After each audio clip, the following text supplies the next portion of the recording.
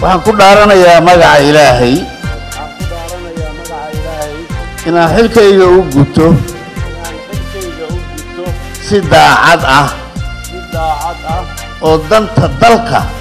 Oo danta dalka. Dadka iyo diinta ku jirto. Dadka iyo diinta ku jirto. Dhowrana dastuurka qaranka. Dhowrana dastuurka qaranka.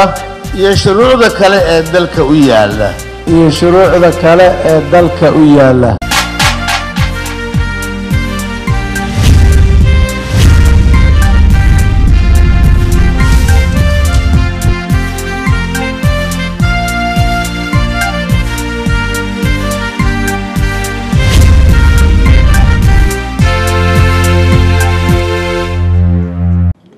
Asalaamu calaykum waraxmatullaahi wabarakaatu dhammaanba daawadayaasha qiimaha badan oo aan hawada ka xiriirno war wixii dalkii dibadda naga soo gaaray oo aad xilligan oo kale nooga barateen telefishinka caalamiga ee somaali channel uu idiin soo gudbinayo ayaa noo diyaara. Stuudiyaha magaalada nairobi ayaanu warka ka soo gudbinaynaa anigoo shukri maxamuud afrax ayaana u diyaaray qodobada. Waxaa ka mid ah xildhibaanada baarlamaanka soomaaliya ayaa waxa ay maantay ka doodeen qaab dhismeedka shan iyo tobanka guddi hoosaad ee uu yeelanayo baarlamaanka soomaaliya. Madaxweynaha somalilan axmed maxamed maxamuud silaanyo ayaa waxa uu booqday askartii ku dhaawacantay dhowaan shil baabuur oo ka dhacay duleedka bari ee magaalada hargeysa. Waxaa maanta magaalada gaalkacyo soo gaaray madaxweynihii hore ee dowlad goboleedka puntland genaraal cadde muuse xirsi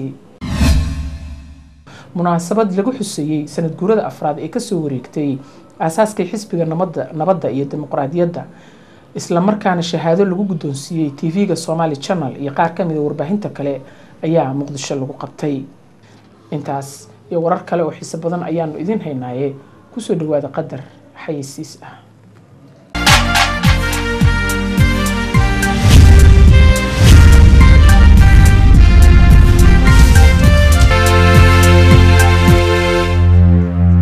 Xildhibaanada baarlamaanka soomaaliya ee federaalka ah ayaa waxa ay ka doodeen qaab dhismeedka loo sameeyey shan iyo tobanka guddi hoosaad ee uu yeelanayo baarlamaanka jamhuuriyadda federaalk ah ee soomaaliya.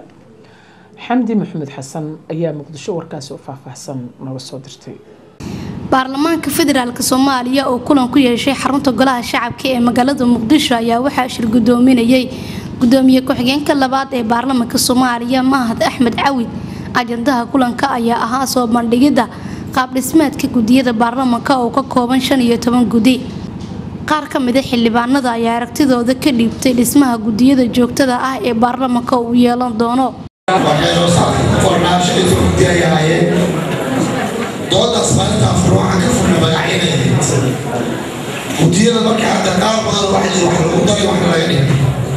guddiga arrimaha dowladda xiriirka caalamiga xiriirka caalamiga waxa lagu dhex daray guddiga maaliyadda xisaabtanka miisaaniyadda guddiga maaliyadda miisaaniyadda la xisaabtanka hay'adaha dowladda saasaa ku qoran marka cidda ku dartay eegaya waa la isweydiinaya guddiga arrimaha dibadda keliya ani waxaan ka tirsanahay baarlamaankii afraad carta milaati jabuuti laba iyo kan hadda xamar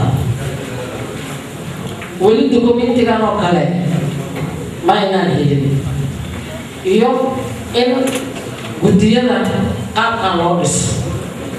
Oo xubin kasta oo ka tirsan baarlamaanka ay guddi ama laba ama saddex intay codsato ay haddana inta badan inta badan sidii wax loo codsaday ay ugu hor qoran tahay sida gocad jaantuska dhismaha guddiyada arrintu arrin weyn weyn weyn weyn oo aad tixgeliseen oo aad hoosta ka tixgeliseen ayaa maanta waxaan leeyahay maya maya maya.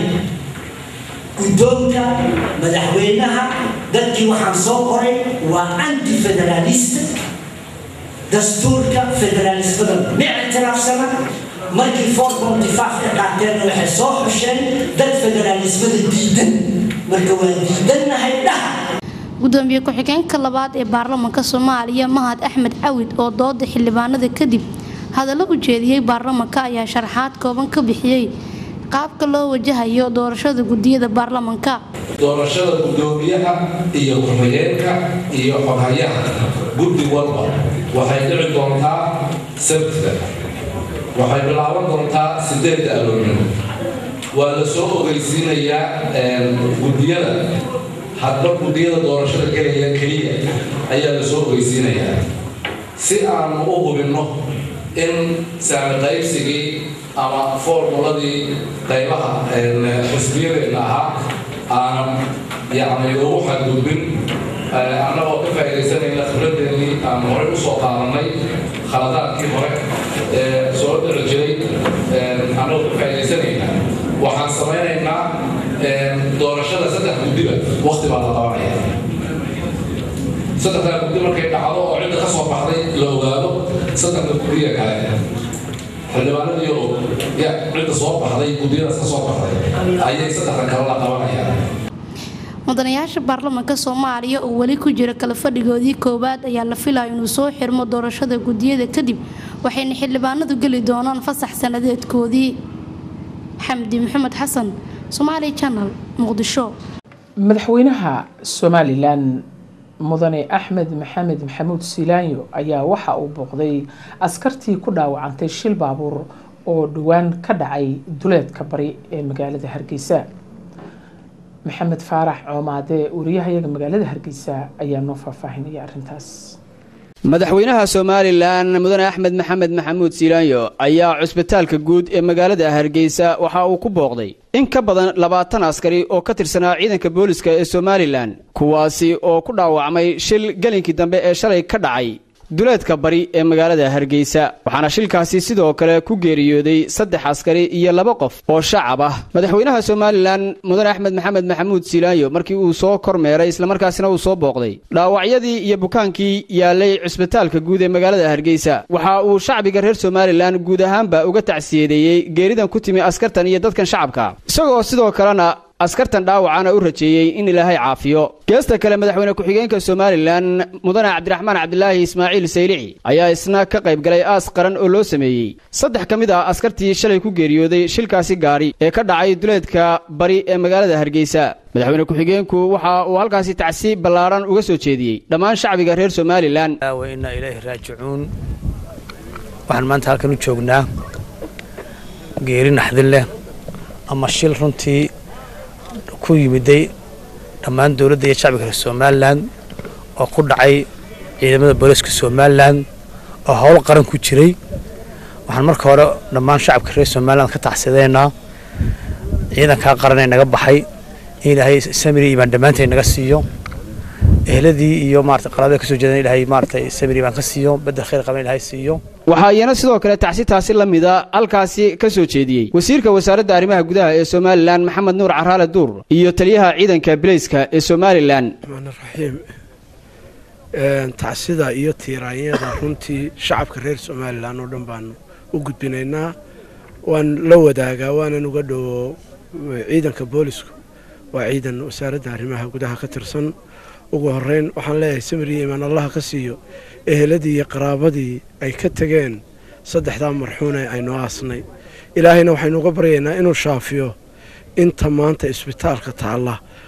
Waxaan tacsi u dirayaa dhammaan shacabka reer somalilan waxaan si gaara uga tacsiyadinayaa ehelkii iyo dhammaan ciidanweynaha booliiska saraakiisha saraakiil xigeenka waa shilkii ugu cusbaa ugu foolxumaa laakiin waa qadar ilaahay waxaan leeyahay intii dhimatay shacabka iyo ciidanka biliiskaba. Ilaahay naxariis janna ha geeyo.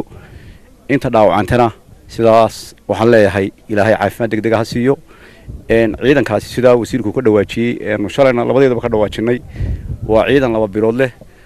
Howlgallada qaranka ee ay nabadgelyada ku sugayaan u jooga gobolka sool si kastaba ha ahaatee shilalkan gaadiidka ayaa sannadadii ugu dambeeyey ku soo badanayay somalilan iyada oo dadku intooda badan ay u aaneeyaan shilalkani in ay sabab u tahay gaadiidka oo ku soo badanayay somalilan sannadadii u dambeeyey iyo sidoo kale waddooyinka oo cidhiidha islamarkaasina dayactirkoodu uu yaryahay. Maxamed faarax coomaade somaali janal hargeysa munaasabad lagu xuseeyey aasaaska sanad guradii afraad ee ka soo wareegtay markii la aasaasay xisbiga nabadda iyo dimuqraadiyadda. Islamarkaana shahaado lagu guddoonsiiyey telefishinka caalamiga ah ee somaali channel iyo qaar kale oo iyagu ka tirsan warbaahinta ayaa waxa uu maantay ka dhacay magaalada muqdisho. Cabdirasaaq jaamac cilmi balaag ayaa warkaasi muqdisho nooga soo diray munaasabadani ballaaran oo lagu soo xirayay kala fadhigii afraad ee xisbiga nabadda iyo dimuqraadiyadda islamarkaana shahada sharaf lagu guddoonsiiyey tv-ga soomaali janal iyo qaar ka mida warbaahinta ka howlgasha muqdisho ayaa waxaa ka soo qaybgalay madaxda xisbiga xildhibaano ka tirsan baarlamaanka federaalk soomaaliya madaxda ururada bulshada rayidka madaxda haweenka qaranka soomaaliyeed iyo weliba xubno ka socday qeybaha kala duwan ee warbaahinta ka howlgasha magaalada muqdisho intii ay socotay munaasabadu ayaa qaar ka mida madaxda xisbiga waxa ay ka sheekeeyeen taariikhdii uu xisbigani soo maray waxaana lagu dhiraandhiriyey muhiimadda ay axsaabta siyaasadeed u leeyihiin siyaasadda dalka iyo kaalinta xisbiga nabadda iyo dimuqraadiyadda iyadoona xubnihii kala duwanaa ee xildhibaanada ururada bulshada iyo haweenka qaranka ee goobta ka hadlayba ay bogaadiyeen xisbiga uguna baaqeen dowladda in la dardargeliyo hirgelinta nidaamka axsaabta siyaasadeed ee dalka. Xisbigan waxaan markhaatigal ka nahay inuu yahay xisbiyadii ugu horreeyey ee bilaabay si geesinimo ku jirta in ay waddanka ka bilaabaan gudihiisa dhaqdhaqaaq siyaasadeed isbahaysi siyaasadeed oo ay ku kulmayaan axsaab fara badan. Marka xisbiga waa soo dhowanaynaa waa ugu hambalyaynaynaa waxqabadkiisii waxaan leenahay sanad wanaagsan sanadkan yani horumar iyo meesha uu joogaan baan ka sarraysaan u rajeeyeynaa anigu waxaan ku hadlayaa madaxa urada bulshada reerka iyo degmada banaadam waana ku faraxsanahay maanta munaasabadda kalfadhigii afraad xiritaankiisii xisbiga s d d u inaan ka soo qayb galo. Soomaaliya maanta waxay joogtaa marxalad aada muhiim u ah jiritaanka qaranka soomaaliyeed aniga waa soo dhaweynayaa xisbigan asaka haween ahaan waana taageersanahay waxaana leeyahay guddoomiye shaqadaa soo qabatayna ilaahay ha ka dhigo mid wacan midda kuu soo socotana sanadkaan la bilaabatana mid hagaagsan allah kaaga dhigo labaatan sano waxaan ku soo jirnay ururo magacyo badan leh oo weliba magacooda meesha asta u taagan runta haddii la fiiriyo ay tahay qa. Marka oo qabiilla ka soo jeeda oo haddii alla kuurada hubaysan oo waxaan fidno iyo balaayo ahayn ka shaqayn laakiin maanta xisbi mucaarada ee dhahaya wixii qaldan ha la toosiiyo ee aan qoro wadan inaan xafladiisa ka soo qayb galo aad ayaan ugu faraxsannahay. In maanta meesha la jooga meel fiican soo gaarnay in maanta magaalada dadkii ku laabanayaan oo qurbajoogtii ay soo laabanayso nabadgelyadii iyo bilicda ay soo hagaagayso taasna runtii dad badan baa ka shaqeeyey qoladii gudoomiyaha isbahaysiga nabadda iyo dimuqraadiyadda cabdulaahi sheekh xasan oo goobta ka hadlay ayaa ugu horreyn waxa uu ammaan u soo jeediyey warbaahinta dalka isagoona intaa kadib sharaxaad ka bixiyey nidaamka xisbiyada siyaasadeed oo uu sheegay in ay hawsheedu tahay inay saxaan qaladaadka ka dhaca dowladda si uu dalku u hagaago. Mucaaradka ma nihin dowladayna statekayna inuu xoogaysto in horumar la gaaro sida ay noo akriyeen saaxiibadeena xafiisyada joogahay laakiin laba arrimood ba waa ka digaynaa. Mid waa ka digaynaa oo waxaan ognahay inay wadaan qorsho ay ku dhisayaan ciidamo militarina aan ahayn boolisna aan ahayn nabsugidna ahayn oo kun askariya oo oo lagu sheegay magacooda soo celinta amniga magaalada muqdisho. Amniga magaalada muqdisho in soo celsho waa very important. Haddii muqdisho aan amnigeeda lahelna boosa saxda amnigeeda lama helayo laakiin ciidamo aan dastuurka ku oolin oo saddexda ciidan ee national armiga aan aan ku jirin baarlamaankana waa u sii sheegaya inaan la ogolaanin kuwii jooga la tayeeyo sida dastuurka qabana loogu shaqeeyo waxaan uga mahadcelinaynaa baarlamaanka soomaaliya sida uu ugu celiyey miisaaniyaddii isla markaasna markay soo saxeen u ansaxshay aqlabiyadda uga ansaxshay waxay daliil u tahay inuusan wax u jeedaa ka lahayn gabagabadii ayaa waxaa goobta shahaado sharaf lagu guddoonsiiyey tv-ga soomaali janal iyo qaar kamida warbaahinta ka howlgasha magaalada muqdisho iyadoona xubno ka socday xildhibaanada baarlamaanka soomaaliya ururada bulshada rayidka iyo haweenka qaranka soomaaliyeed. Uu shahaadadii loogu talagalay soomaali janal uu ka guddoomay agaasimaha soomaali janal ee xarunta magaalada muqdisho maxamed siciid axmed sheekh aadan. Cabdirasaaq jaamic cilmi balaag soomaali janal muqdisho. Maanta oo labada bisha koowaad ee sanadka laba kun iyo saddex iyo tobanka ah ayaa waxaa ka soo degay magaalada gaarkacyo oo gaaray. Madaxweynihii hore ee dowlad goboleedka puntland genaraal cadde muuse xirsi war faafinta ama arintaas oo idil ayaa waxaa noo soo gudbinaya maxamed cabdicasiis warsane oo gaalkacyo telefishinka soomaali janal jooga waxaa maanta magaalada gaalkacyo soo gaaray madaxweynihii hore ee dowladda puntland jenaraal maxamuud muuse xirse boqor cadde muuse. Jenaraal cadde muuse ayaa waxaa si diiran lagu soo dhoweeyey magaalada gaalkacyo waxaana soo dhoweyntiisa ka soo qayb galay odayaal nabadoono siyaasiyiin iyo qaybaha kala gedisan ee bulshada. Jenaraalka ayaa markuu yimid waxaa la dejiyey hotel sugal ee magaalada gaalkacyo mas'uulka oo la dadweynihii soo dhoweeyey ayaa u mahad celiyey waxaana uu uga warramay ujeedka safarkiisa. Waxaan aada ugu mahad sidii fiicnayd aad ii soo dhoweyseen ani magaalada magaalo aan aqaan wey wax badanna aan ka shaqeeyey. Intaa dhalinyara madaxweynenimada ka hor baan ka shaqeeyey. Marka nin yaqaana baan ahay.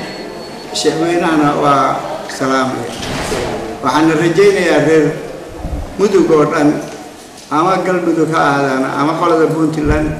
Waxaad iga gaarsiinaysaa oodi ab ka dhow inay midnimada iyo ku dadaalaan siday dhexdooda haddii wax yimaado ay u xallin lahaay waxaan halkaa u yimi oo magaalooyin badan u soo maray boosaaso ilaa halka inaan nabadgelyada aanu ka shaqayno wadac xun baa lagu jiraa.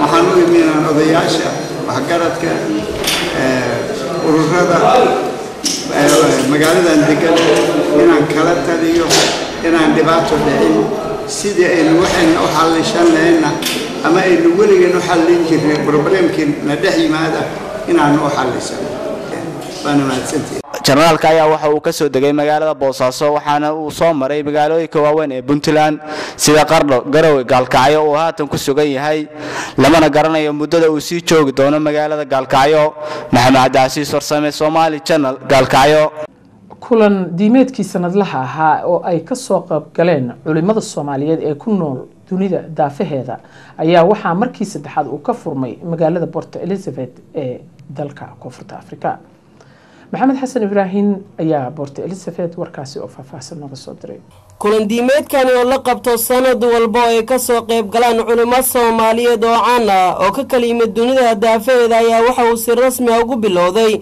magaalada port elizabeth ee dalkani south africa. Culimada ka qaybgalaysa kulan diimeedkani ayaa waxaa ka mid ah sheekh maxamed cabdi umul sheekh maxamed idriis sheekh maxamed cusmaan cali sow iyo sheekh cusmaan cali faarax iyo culimo kale iyadoo muxaadarooyin kala duwan ay ku qaban doonaan. Masjidada ku yaalla magaalada tani port elizabeth iyo degmooyinka ku xeeran gobolkan ay soomaalidu ku badan tahay. Waxaana kulan diimeedkani soo agaasimay hay'adda majmaca culimmada ee albayaan sida uu tv-ga caalamiga ee somaali janal u sheegay sheekh cabdicasiis oo ka mid ah culimmada magaalada tani port elizabeth. Martiqaada culimmada ugu waaweyn ee soomaalida si ay bulshada oo u badan dhallinyaro ay u baraarujiyaan ilaa hadda waxaa la qabtay saddex kulan. Kulanka ugu horreeyay wuxuu dhacay two kan ku xigana wuxuu dhacay eleven. Kan hadda ugu dambeeyana wuxuu dhacay twelve culammadu hadda waxay soo mareen gobollo fara badan. Walaalkay hadda markaan la taaganahay waa gobolkii ugu dambeeyey port elizabeth. Ayaan joognaa gobol ahaan. Kadibna khowntayn ayay ku noqon doonaan laakiin tuulooyinka u dhadhow iyo degmooyinka u dhadhow ayay insha allah sii wadi doonaan waxaana kulankii furitaanka ee lagu qabtay masjid ulhuda ee magaalada tani port elizabeth tixgabaya ka jeediyey. Sheekh shaakir oo ka mid ah hay'adda culimada albayaan ee magaalada tani. Aad ku noolaan jirteen bal dulka uriirto diinteennu inay gabaabsiin malaha waynu garateene. Gaaru socod inuu shaydaanku guran malaha waynu garateene. Gabdhaheennu inay goodirayn malaha waynu garateene. Gabanadu inay gaala raac noqon malaha waynu garateene gabanadu inay gaalada horkici malaha waynu garateene u n in gacanta loo hoos dhigani malaha waynu garateene get out inuu gaalka odhan malaha waynu garateene. Si kastaba haatee kulan diimeedkani ee dhammaan dadka south africa ay soo qabanqaabiyaan sanad walba ayaa ah mid si weyn wax looga korsado dhanka diinta. Maxamed xasan ibraahim madka tv-ga caalamiga ee somaali channel port elizabeth south africa magaalada caynabo ayaa waxaa lagu soo gebagabeeyey shir heer gobol ah kaas oo looga hadlayay amuuraha deegaanka iyo waxqabadka sannadkii ina dhaafay iyadoo dhanka kalena la soo saaray qodobo iyaguna wax ku ol ah.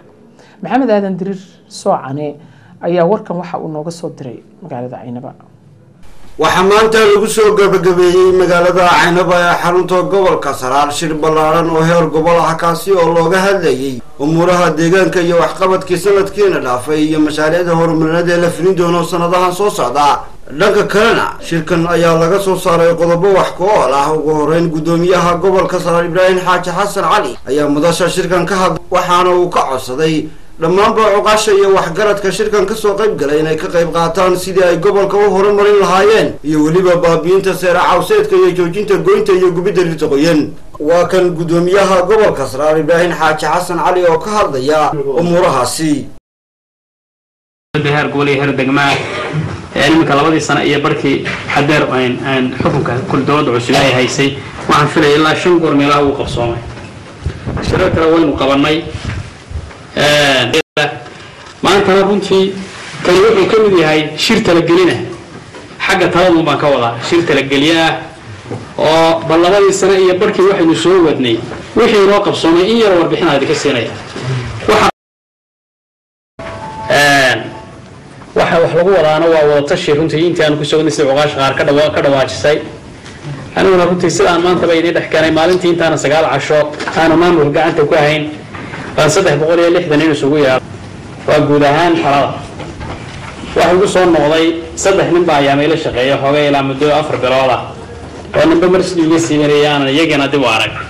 Yaqaana meesha kaga warramaya. Halkay kaga warramaya ninba meel buu ka siigtay waxaanu samaynay guddi runtii guddida horumarinta gobolka oo shan iyo toban nina ayaanu samaynay oo reer weliba ku jiro. Oo runtii nin walibana raggu waxba kala may waxayn laakiin waliba dantiisa ayuu ka doorbidayay ta guud ee caamka ah oo mashquulisay. Waxyaabaha dhismayaasha dowladda weli qabyada waxaa ka mid ah saldhigyadii booliska. Saldhigyadii booliska hadday xarunta tahay iyo hadday degmooyinka tahay hadday tuulooyinka tahay waa meesha ugu liidata waa saldhigyadii booliska. Maamulka heer gobol haddii ay tahay ilaa guddoomiye gobol iyo hay'adihii kale oo dhan way dhisan yihiin. Iyo hay'adihii kale maxkamaddii gobolkaa dhisan oo meel yani markaa halbowle ah iyo sudawayaasha wasaaradaha dhisan oo intii majority-ga ay dhisan yihiin waxaa dhisan runtii maamul ahaan golihii gobolka fadhiista oo golo gobol wax la yidhaahdo fadhiista oo u shaqeeya waxaa shaqeeya degmooyinkii oo laba qaybood ah. Waxaa shaqaynaya xabsigii baa shaqaynaya maanta runtii oo maamulkiisii wixiisi dhisan yihiin qabyo badanina ay runtii ay ku haysantaho xabsi cusub weeye wax badani ka dhiman yihiin. Waxaa jira oo aan jirin gobolka oo ku yara hay'adaha maanta toddoba hay'adood ayaa wax gobolka degan iyo waxaan deganayn inay shaqo ka qabtaan ka shaqeeya. Maxamed aadan dirir soocane telefishinka caalamiga ee somali channel caynaba janay kulan ay isugu yimaadeen dhammaan jaaliyadda somalilan ee galbeedka magaalada london. Ayaa waxaa lagu qabtay xaafadda hays ee magaalada london. Warkan oo faahfaahsan waxaa noo soo diray cabdiqaadir cali kaar shir jaraa'id oo ay ka soo qayb galeen aqoon-yahano isugu jira rag iyo dumar ka soo jeeda jaaliyadda somalilan ayaa wuxuu ka dhacay xaafadda hays ee magaalada london. Shirkan jaraa'id ayaa waxaa soo qabanqaabiyey jaaliyadda somalilan ee galbeedka london waxaana aada looga dooday doorashooyinkii dhowaan ka dhacay somalilan iyo sida loo maareeyey rabshadihii dadku ku dhinteen ee ka dhacay somalilan kulankan ujeedadiisuna ay tahay inaynu maxay ahaday fikirkeena ka dhiibano doorashooyinkii golaha deegaanka ee ka dhacay jamhuuriyadda somalilan bishiina soo dhaaftay iyo cawaaqibkii ka dhashay aynu wax iska weydiino. Isla markaana aynu maxay ahaday diiwaanka isla gelino bal inaynu yacni ishaynu dib ugu eegayna ay tahay maxaa maxaa hagaagsanaa maxaa khaldanaa midda kale khaladkii dhacay maxaa laga baran karaa dariiqee loo sixi karaa. Ummaddu markay xagga fikirka ka xorowdo ayaa dhaqankeeda khaldan ay sixi kartaa kulamada noocanna waxaan rajaynayaa inay taa qeyb ka qaataan oo ay maxay ahaday innaga qaranka amba ummadda reer somalilan ay u sahasho in markaa qarankee maxaa la yidhaahaa dhaqankeena aynu kobcino oo aynu maskaxda iyo maxay ahaday fikirka xor ka noqono oo aynu xor ka noqono siyaasi isagu shaq maxay dan shaksi raadinaya aynu ka xor ka noqono suldaan amba madax dhaqameed wax la yidhaaho oo isagu dan shaksi raadinaya oo aynu noqono shaksi wadankiisa u fikiraya. Saan horeba idinku sheegay waxaan idinku yeedhnay aanu halkan idinku shirka idinku haynaa. Waxa weeye ama aan isugu nimi waa inaynu aaraa aynu leenahay isdhaafsanno dadkeennina u gudbinno sawirkeenna inta wanaagsan. Maadaama aynu maanta isugu nimi inaynu waddankeennii oo buuq ka taaganaa muddo dheer aynu u dirno message ah inaynu nabadda iyo isku dubnaanta ka talino qaar ka mid ah dadkii ka soo qayb galay shirkan jaraa'id ayaa cabiray dareenkooda waxaana ay muujiyeen siday uga xun yihiin dadkii ku dhintay rabshadihii ka dhacay somalilan dad baa dhintay oo runtii sababo doorasho aawadeed ku dhintay dadka ilaahay u naxariisto waa wax aada looga tiiraanyoodo. Anigu mustafa ahaan runtii waan aad baan uga tiiraanyaysanahay waxaan kaloon aad iyo aad uga tacsiideynaya dadkii ku dhintay waxaan kaloo ilaahay ugu baryayaa dadkii ku dhaawacmana inuu ilaahay caafimaad siiyo.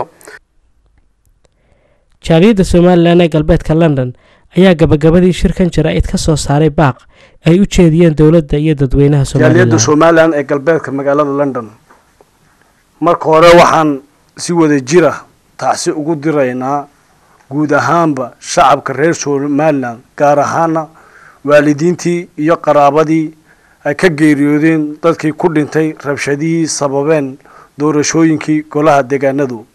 Waanu leenahay allah u naxariisto. Kuwii ku dhaawacmay ilaahay ha shaafiyo waxaa muuqatay doorashooyinku inay lahaayeen goldaloolo fara badan maadaama oo la laalay diiwaan diiwaangelintii jirtay oo ahayd in la soxo hal gebi ahaanba la tirtiray dowladda jumhuuriyadda somalilan waxaa waajib ka saaran yahay sugidda ammaanka shicibka. Sugidda ammaanka ummadda waa inuu noqdaa mudnaanta koowaad ee qaranka. Sidaa daraaddeed in dowladdu siyaasad cad ka yeelato ka hortega wixii ammaanka khalkhal gelin kara oo ay ka mid tahay cadaalad darrada iyo in dowladdu yasto shicibka una tilmaami kari weydo xumaanta iyo wanaagga dowladdu waxaa waajibkeegu yahay inay shicibkeega u tilmaamto oy barto siyaabaha ay u muujin karaan dareenkooga islamarkaana dejiso hab dhaqan ama dariiq shicibku u maro muujinta dareenkooga waxaynu halkan ugu dambeyntii dadkii ka qayb galay shirkan jaraa'id ayaa u mahad celiyey dhammaan dadweynaha somalilan sidii nabadgelyada lahayd ay uga qayb qaateen doorashadii dhawaan ka dhacday una aqbaleen natiijadii ka soo baxday doorashadaas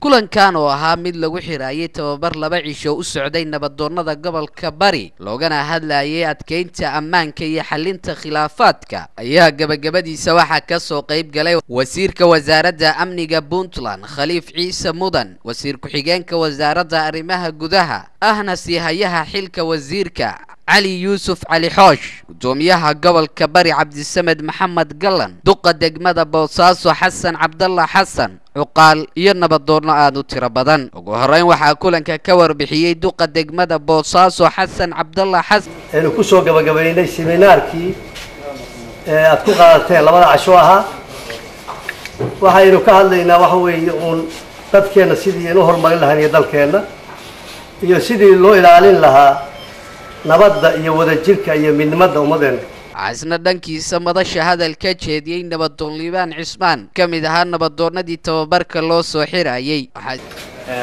annagu haddaanu nahay odayaasha nabadoonnada ah kuma shaqayno magac hel kumana shaqayno hanti doon waxaan ku shaqaynaa muxuu ahay degdegeer yaa la waaye isaguna kulanka hadal ka jeediyey guddoomiyaha gobolka bari cabdisamed maxamed gallan oo isagu ugu baaqay nabadoonnadii kulanka loo soo xirayay inay gaarsiiyaan fariinta ay wadaan guud ahaan bulshada ku dhaqan gobolka bari. Waxaanu rajaynaynaa hadduu ilaahay idmo in wixii idiin kordhay oo halkan aad ka hesheen inay dhaqan galaan u gudbisaan dadka kale oo baahida u qaba iyo deegaanada kale oo aad tegi doonto. Dambayntii kulanka soo xiray wasiirka wasaaradda amniga puntland khaliif ciise mudan oo isagu baaq u diray dad uu ku tilmaamay inay beryihii ugu dambaysay qilalaasa ka wadeen degmada qardho ee gobolka karkaar. Waxaa jira rag aan urur samaysan meel halkaan hadal la taagan oo aan rabin nidaamka puntland. Raggaas iyaga ah oo aan ururada samaysan fawdada iyo qaska la taagan meelaha sida kuwa qarna jooga hadda iyo kuwa meelo kale oo kala joogaba. Waxaan qabaa inay sharci darro ku socdaan laga bilaabo shalay inay sharci darro ku socdaan inay ka baxsan yihiin nidaamka ummadda ku heshiisay inay fawdo ka wadaan ummadda dhexdeeda inay rabaan inay khalkhalgeliyaan deganaanshaha puntland. Annaguna waxaanu leenahay maya ma yeeli karo mana samayn karo khalkhal siyaasadeed uma keeni karo dalkan iyo ummaddan. Nin alla ninkii arrintaas ku ku tarkifala waxaa laga qaadayaa tallaabo sharciga waafaqsan. Arrintan ayaa waxa ay ku soo beegmaysaa xilli beryihii ugu dambeysay maamulka gobolka uu waday. Kulamo lagu adkeynayo guud ahaan ammaanka gobolka bari. Ibraahim maxamuud yuusuf somaali channel boos. Beeraleyda gobolka jubbada hoose ayaa waxa ay ka soo kabanayaan kadib sanado badan oo colaado iyo abaaro ahba iyaga oo xoogeeyey ama dadaal badan ugu jira in ay sameeyaan wax soo saar aada u fara badan. Kadib markii sanadahaasi ay ahaayeen sanado aan u tirsaneyn gobolka jubbada hoose beeraleydeeda qadar maxamuud xareed ayaa kismaayo warkaasi oo faahfaahsan nooga soo diray.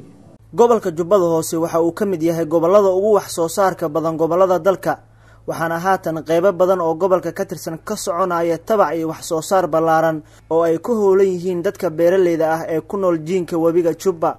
Dadka beeraleyda ah ee ku nool gobolka jubbada hoose ayaa hadda ka soo kabanaya raadadkii ay ku reebtay abaartii xooganeyd ee sannadkii labada kun iyo koob iyo tobanka waxaana dadku haatan ay ku mashquulsan yihiin tabcashada dalagyada kala duwan ee beerahooda. Deegaanada haatan ay dadku tabcanayaan waxaa ka mid ah deegaanada ku teedsan jiinka webiga jubba halkaasoo ay dadku ka faa'iideysanayaan biyaha webiga. Inkastoo dadka ku nool gobollada jubbooyinka ay aada uga heelan yihiin inay wax soo saaraan haddana waxaa jira dhibaatooyin iyo caqabado kala duwan oo dadkaasi ku horgudban kuwaasoo ay ka mid yihiin dhibaatooyin dadka ka haysta dhanka qalabkii ay wax ku soo saari lahaayeen. Sidoo kale nolosha dadkii reer guuraaga ahaa ee ay saameeyeen dagaaladii iyo colaadihii ka jiray gobollada jubbooyinka ayaa hadda u muuqda kuwo ka soo kabanaya iyadoo deegaano badan oo ka tirsan gobollada jubbooyinka ay ka da'een roobab ay ku diirsadeen dadka iyo duunyada ku nool deegaanada kala duwan ee gobollada jubbooyinka oo sanadihii ugu dambeeyey ay ka jireen colaado iyo sidoo kale abaaro xoogan oo dadka wada saameeyey.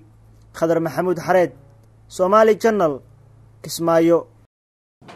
War wixii dalka iyo dibadda naga soo gaaray oo aanu idinkaga soo gudbinaynay telefishinka caalamiga ah ee somaali janal stuudiyaha magaalada nairobi ayaa intaa ku dhan tan iyo inta aanu ku kulmi doono warkan oo kale ah xilligan xilligiisa ayaa waxaanu idinkaga tegaynaa. Asalaamu calaykum waraxmatullaahi wabarakaatu